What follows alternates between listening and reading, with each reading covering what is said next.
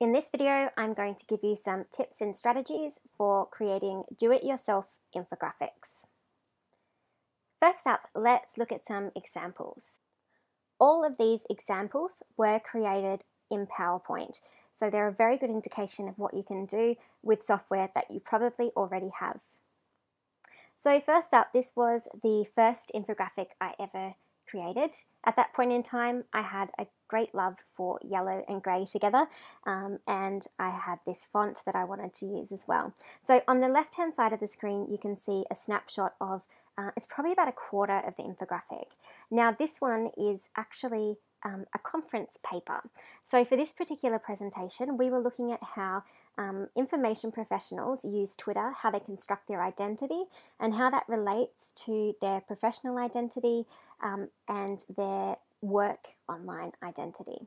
So um, it was a research project and we had quite a lot of findings, but we opted, actually, we requested from the conference um, that we could provide those findings as an infographic and a curated set of resources in Storify rather than as a traditional paper because it felt like a better format um, to convey this particular topic. So, um, this is only a very small portion of it on the left because it was an extremely long infographic. Um, on the right hand side, you can see where I've zoomed into a section of the infographic, which isn't actually represented on the left. Um, and here you can see that we're representing information around a couple of different types of things.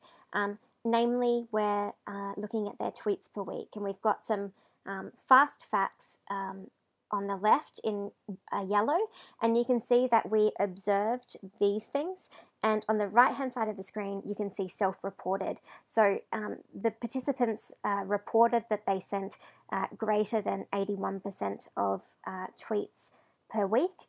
Um, but in reality you can see that um, the story might be a bit different. Now what I will highlight here is that I haven't actually used uh, the graphing function in PowerPoint to create that graph. I actually did it by um, drawing boxes for uh, the uh, different numbers and then putting it on a grey background.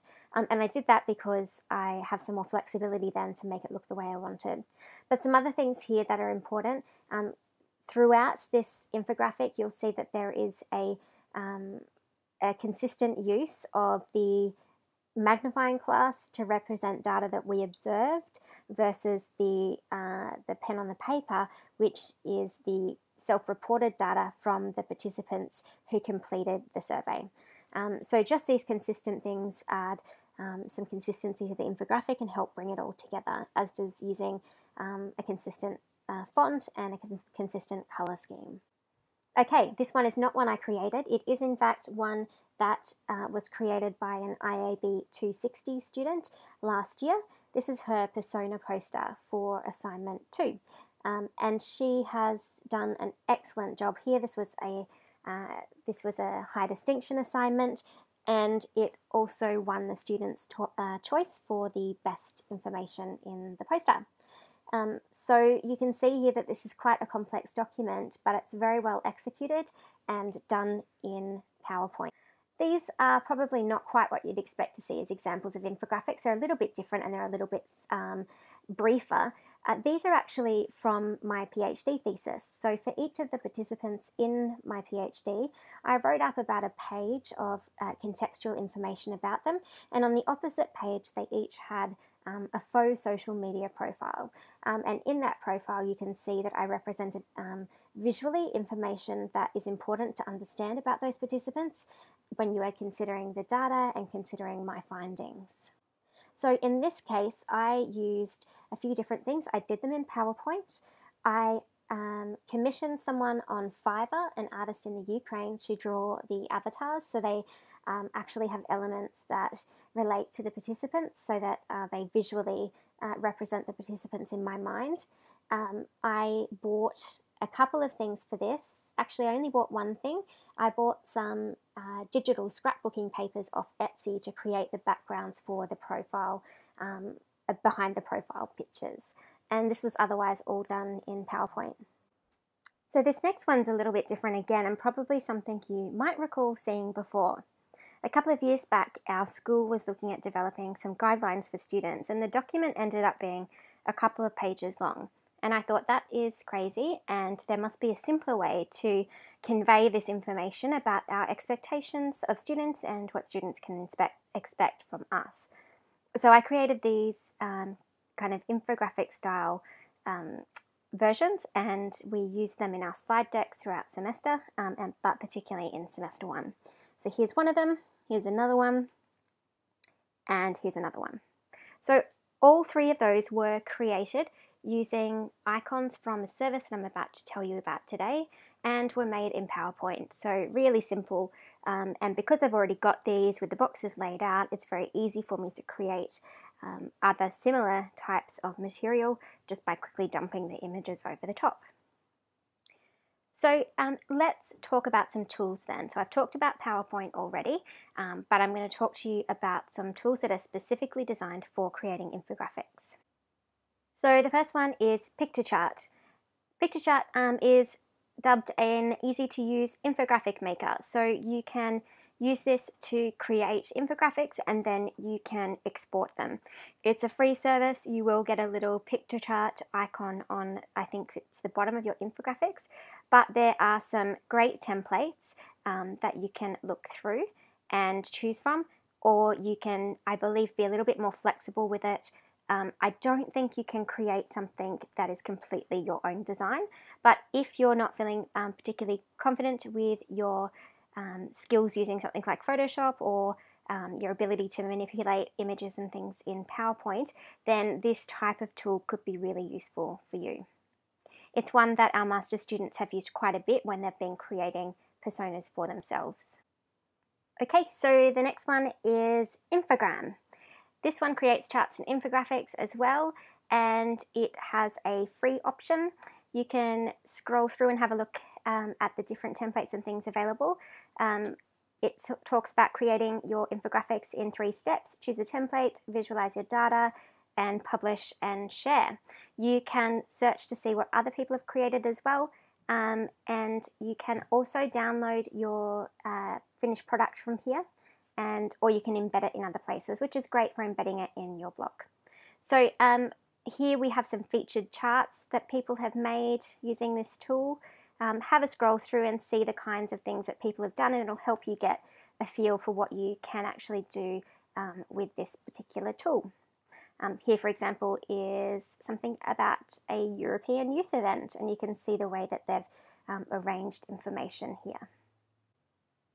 Next up is Visme. This one is a bit more than an infographic tool. It also allows you to create presentations, HTML5 content. Um, so there's a range of different things you can do here. Uh, oh, they specify you can make reports, web content, product um, presentations, and wireframes. Um, so it's a very flexible tool. Um, and again, you can create uh, infographics here, have a scroll through and see the kinds of things that um, people have created.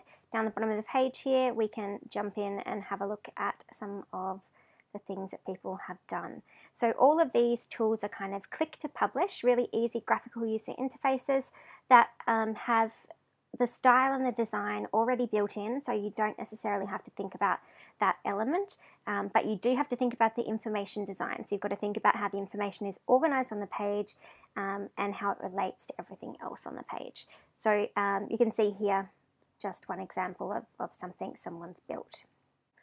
So of all the tools we've shown so far, I actually don't use any of them. Um, I tend to create my infographics, as I mentioned before, in PowerPoint or using Photoshop, um, but I have used Canva before and I recommend that you take a look at it. It's a really flexible tool for creating all types of um, visual or design content. We'll have a look at the About page to give you a bit more information about what they do. Um, they have an iPad app. It also works in a web browser, so you can choose which way you want to go. Um, and there's just so many different things you can do in here, and so many templates for every different possible type of thing you could want to create.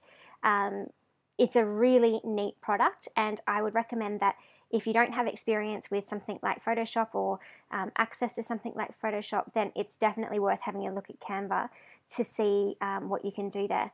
Even if you don't create your whole infographic there, you might be able to use it to create elements that you can then put into your uh, PowerPoint version if that's how you're going to build your infographic.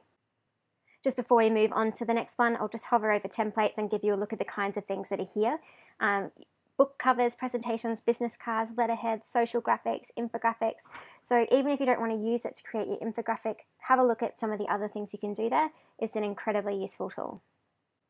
And the last one that I wanted to show you is Easel.ly. Um, again, this is a tool you can use to create infographics. Um, you can read through the information about the site to find out more about the types of things they do. But if you have a look at the homepage, you can see some examples of things created by other people um, that use the tool. I would say that most commonly when I set a kind of infographic type task, um, students do gravi gravitate towards Piktochart, and I think there's a reason for that. It's quite a good, um, easy to use tool. So perhaps give that one a go first if you haven't um, had any other recommendations. Uh, but all of these tools on here do get rated well um, and are really good, useful tools for different kinds of things. So if you're like me and you would rather have your own design and have more control and flexibility, you can do that um, really easily with only a few supplies. Um, you'll need PowerPoint or Keynote. Uh, so if you want to create them the way I do, that's how I mostly do mine. You might need Photoshop if you want to do a bit of manipulating of images. Uh, for example, you might find an icon that's black and you want to make it white. Um, so you can uh, get a copy of Photoshop CS2 for free, which I've linked from this week's weekly learning materials for you to have a look at. In addition to software, you're also going to need sources, sources for icons, sources for fonts, and sources for inspiration. And I'll talk a bit more about those in a moment. First up though, let me tell you about the most useful thing you'll learn about today, and that is the Noun Project.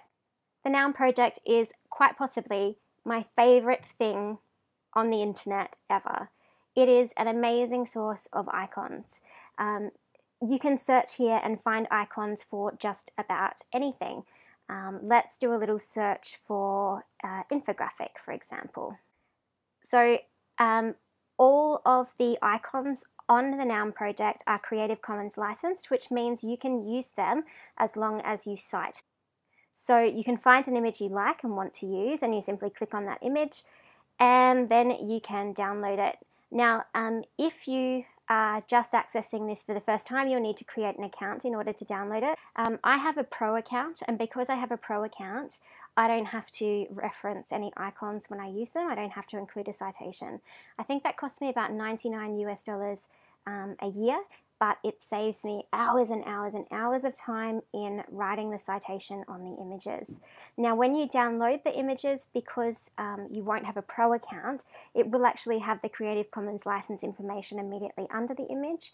I believe you can chop that off and then pop a, a caption on the image yourself if you want to put it into um, your website or a blog post.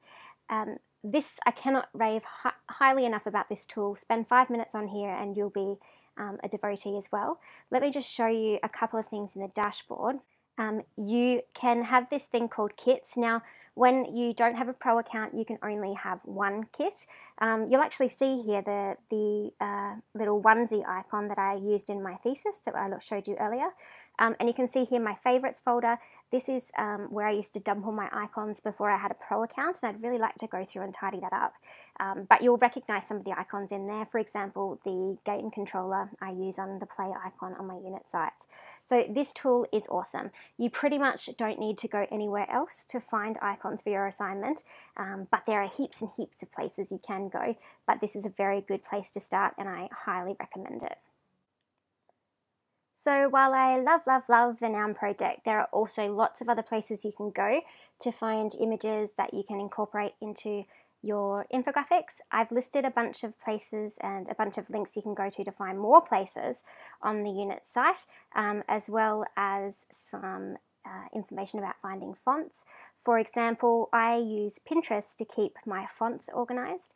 Um, I've got a board called Fancy Fonts where I pin fonts uh, and particularly these infographic style representations of fonts um, when I see them on Pinterest so that when I'm looking for a font later I don't have to trawl through the millions of fonts on the internet. I can come here and look at the ones that I've already pinned because I like something on them Um, so this you're welcome to use as a resource for you, but it is a great way um, to create your own little resource bank of things that you like.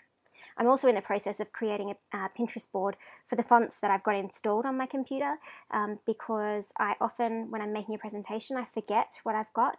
Um, and it would be helpful to have a quick visual reference to let me know what I've got so I don't have to go looking for other fonts all the time. So lots and lots of resources on the unit site for you to explore, um, helping you with things like fonts and images. So we've talked about what goes into the infographics and where you can get that from, but what we haven't talked about is how you actually go about designing an infographic. And these principles are going to apply for your persona poster too. So um, good infographics start with a few things. First of all, you need good data. Um, you have to actually have data that is reliable and valid, and then you have to do good analysis. So it's not enough just to kind of whack um, descriptive data or numbers or charts on a page. You've got to actually think about the story you're telling. You've got to find a story, do the analysis, find your story, um, and then design that story in a cohesive way so that it is told um, in this one discrete object. Um, they need to be visually impactful and they need to have good information design. So that doesn't just mean make them aesthetically pleasing, it means make sure that you place things, place the information on the page so that it tells um, a logical and cohesive story. So for me, the first step in creating an infographic then is to organize your data. So find your data, sort it, organize it in some way. If you find data in a secondary source, go back to the original source and double check the data and reference it to that original source rather than the secondary source. Also, organize your references at this point. So, just because it's visual doesn't mean you don't have to um, acknowledge other people's IP.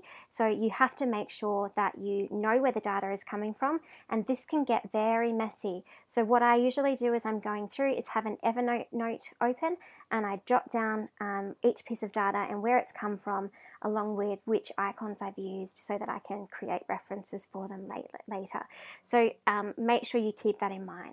As you're working with your data and looking for a story in it, there are a few different things you can look for. Obviously, you want to look for trends, so things that um, seem to be trends across the data.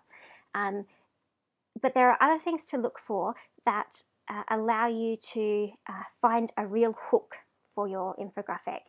Um, there is an awesome video on lynda.com about creating infographics, and they talk about some things that you can consider in um, finding good stories in the data. One of the things they say to look for is outliers. So, um, an outlier is um, something in the data that uh, is, sits away from everything else. So, it's something quite different and unexpected. Um, so those things can be really interesting to explore. Another thing that they suggest is to look for counterintuitive facts. So things that seem a bit wrong when you look at them. And so those things are kind of interesting and can help you to find a hook for your story. So once you're working with your data and you're organizing it, you need to then find your story and you need to work out how to tell your story.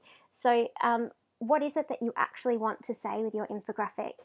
Um, think about it having a purpose and an aim.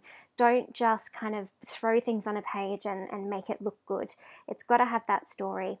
Um, and then you've got to actually identify the data that helps you to tell that story and work out where to position it and how best to represent it in order to tell the story. So once you have got your story and you know where the data is coming from and you've got your data ready, then you have to plan out what you're going to do.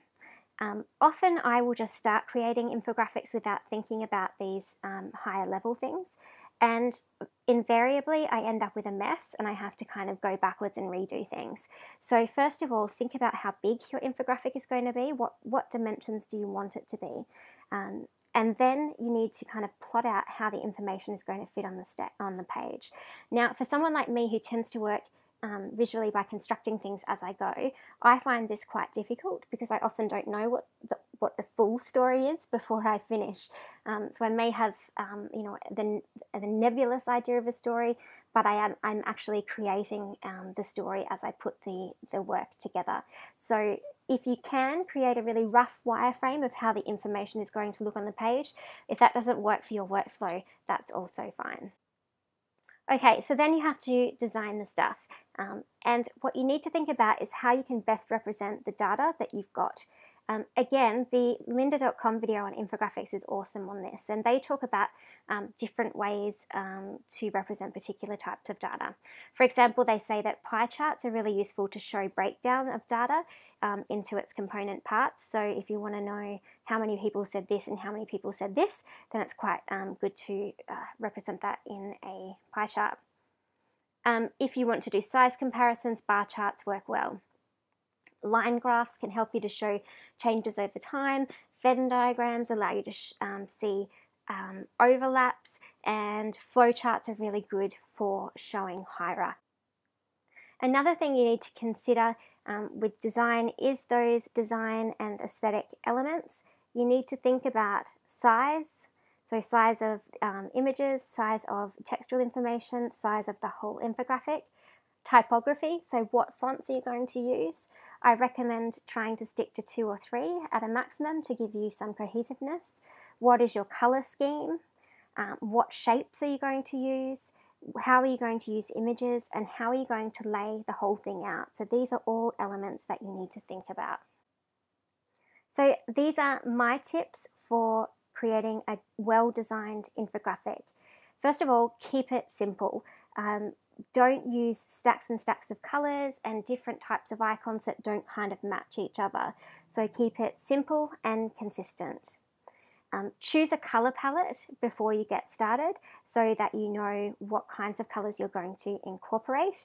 Um, before I showed you the example of Olivia's persona poster from last year, which had lots and lots of color on it, but she still had a color scheme with the chalkboard background and the chalk um, coloured writing and lines and things on it. And so that kept it consistent. You'll also notice with Olivia's poster, she didn't choose colours that don't have the same visual weight. So the colours were all quite bright, so the colours match each other, even though it's multicoloured. Um, you need to balance visually heavy areas carefully. So if you've got lots of weight in the bottom right corner, you've somehow got to balance that out in the top left corner as well. My final tip is a simple one. It's probably also a personal one, but I feel very strongly about it. Don't use clip art. Clip art always looks just a little bit kind of cheap or not as um, aesthetically pleasing instead of going for clip art, use one of the other icon sources or image sources around the web where you can get free images to use um, and you will have a much more polished product. So now that I've told you about a bunch of tools that you can use to create infographics, I'm now going to tell you about your play and share activity for week four. And here they are. So your play activity is to create a little bit of an infographic what I'm going to ask you to do is take the key quote and type that you came up with in your homework from last week's class and create a one slide infographic about you and your use of social media. So, in addition to the key quote and the type, I want you to include your name um, and some demographic information. That's it, nothing huge. What I basically want you to do is have a play with some different tools and icon sources to kind of get you thinking about assignment two. Um, if you're clever and do this well, you can actually use this as the start of your persona poster. So when you're done with this activity, please post it on your blog. Don't forget if you're completing the play activity for this week, you need to complete it by the end of week five, Sunday. And that's actually two weeks away because we, uh, sorry, it's three weeks away. You would normally have two weeks because we have the break next week. The share activity is very simple. I want you to share an infographic or more than one infographic with your peers by making a short post on your blog. Your task is to highlight something about an infographic. So show us a good one, a bad one, an interesting one, a well designed one, a funny one, an awful one. Um, your task is just to uh, pick one and then tell us what you think about it. It doesn't have to be a long post, just a few words to um, explain why you made that selection.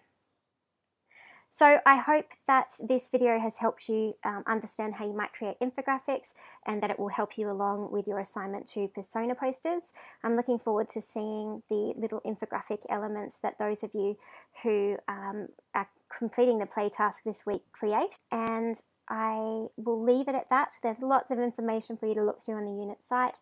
Um, and just keep in mind you don't have to read everything, it's just there in case you are interested in pursuing this further.